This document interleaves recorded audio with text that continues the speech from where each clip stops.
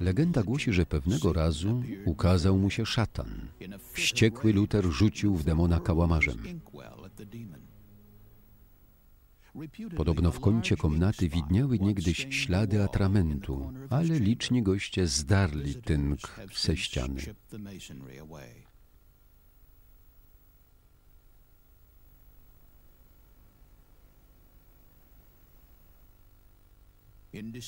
W grudniu 1521 roku, po siedmiu miesiącach odosobnienia na zamku Wartburg, Luther doznał objawienia.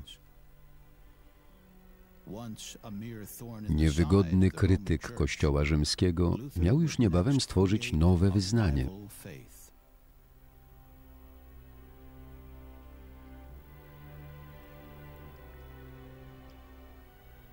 Przetłumaczył Biblię z greckiego na język niemiecki. Dzięki temu miliony Niemców po raz pierwszy mogły samodzielnie czytać pismo.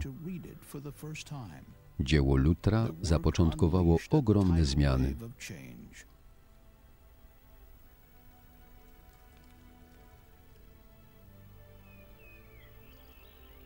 Dzięki wynalazkowi Gutenberga Biblia Lutra była dostępna w całej Europie.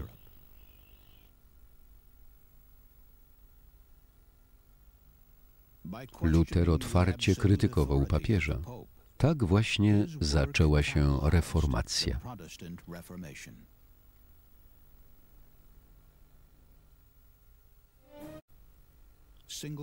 Bez niczyjej pomocy, ze swojej samotni na zamku Wartburg, Luther zapoczątkował jedną z najważniejszych rewolucji Zachodu.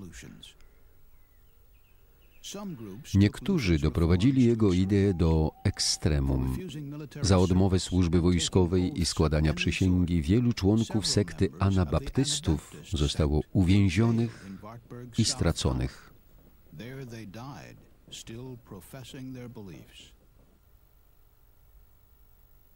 Jeden z wielkich pisarzy niemieckich, Johann Wolfgang Goethe, napisał: To dzięki Lutrowi Niemcy zjednoczyli się. Jego Biblia była pierwszą księgą narodu niemieckiego.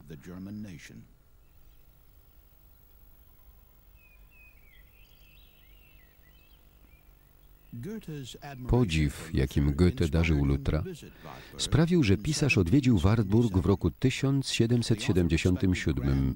Zastał zamek w opłakanym stanie.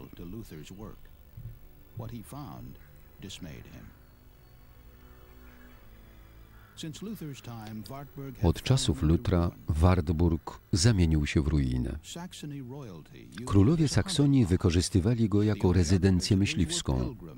Jedynymi gośćmi byli pielgrzymi, którzy przybywali, by uczcić pamięć Lutra.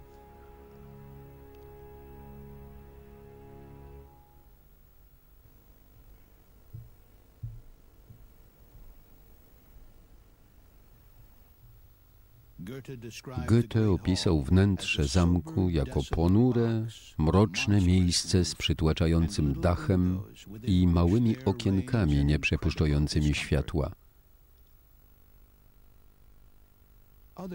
Cały zamek sprawiał takie właśnie wrażenie. Poeta użył swych wpływów, aby utworzyć to muzeum, które następnie zapełnił dziełami sztuki. Wartburg miał ponownie stać się ogniskiem przemian.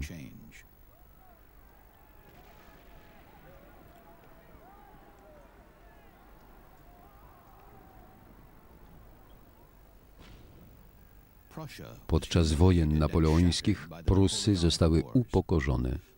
Romantycy nawoływali do utworzenia zjednoczonych Niemiec. Pomysł ten po raz pierwszy pojawił się już w średniowieczu.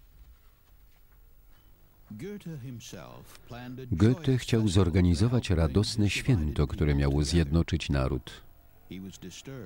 Nie mógł przewidzieć nadchodzących wydarzeń. W roku 1817 korporacja studencka Burschenschaft zorganizowała pierwszy ogólnokrajowy wiec głoszący ideę nowych Niemiec.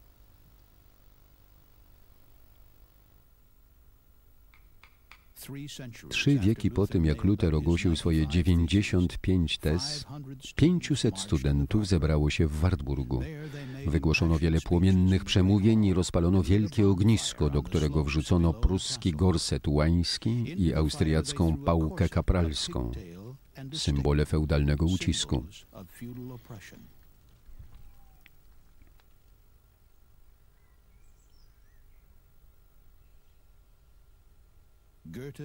Goethe postanowił nie brać udziału w wiecu. W pobliżu zamku późniejsze pokolenia Burschenschaftu postawiły pomnik. Umieszczono na nim tablicę z mottem bractwa: wolność, honor, ojczyzna.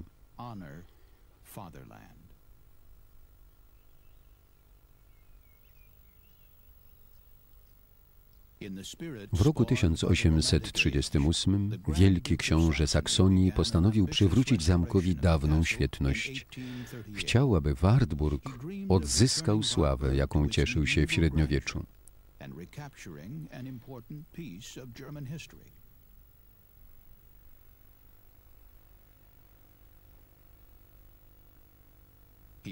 Najpierw zdemontowano wszystko, co zostało dobudowane w późniejszych okresach. Podczas dalszych prac dokonano niezwykłego odkrycia. Oczom robotników ukazały się ukryte dotychczas kolumnady otaczające dziedziniec. W roku 1846 zakończono rozbiórkę. Pracę nad odbudową zamku nadzorował nadworny architekt księcia profesor Hugo von Rittgen.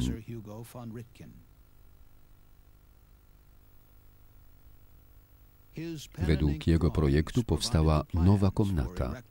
To on zadecydował o przewadze neogotyku i stylu neoromańskiego.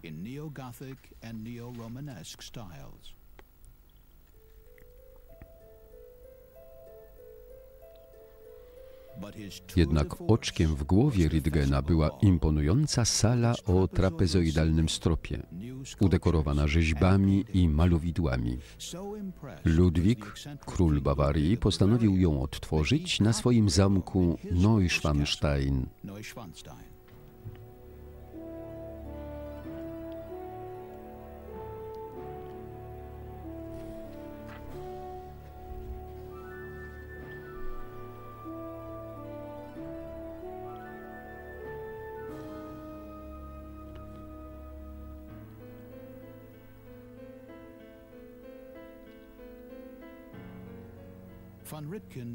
Von Rittgen zlecił uwiecznienie legend związanych z Wartburgiem wielkiemu romantycznemu malarzowi Moritzowi von Schwind.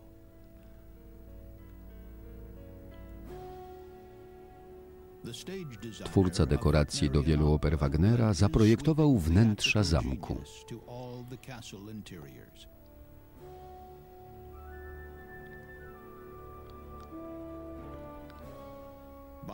Pracę ukończono w 1890 roku.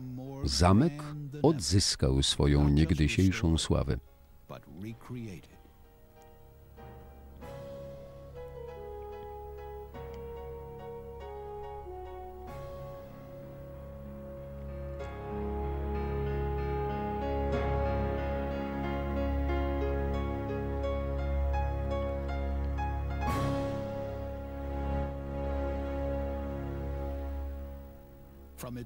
Zamek Wartburg powstał jako siedziba próżnego turyńskiego wielmoży, lecz przez wieki stał się duchowym centrum historii Niemiec i źródłem narodowej dumy.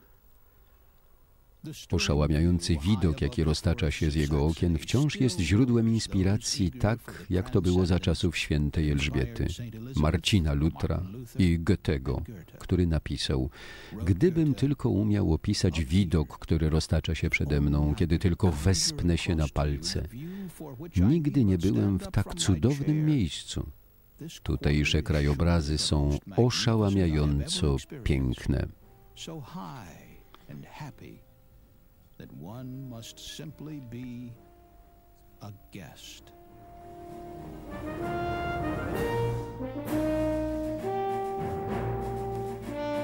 Wersja polska Studio Kompany Warszawa. Tekst polski Łukasz Kacperczyk. Czytał Wojciech Gąsowski.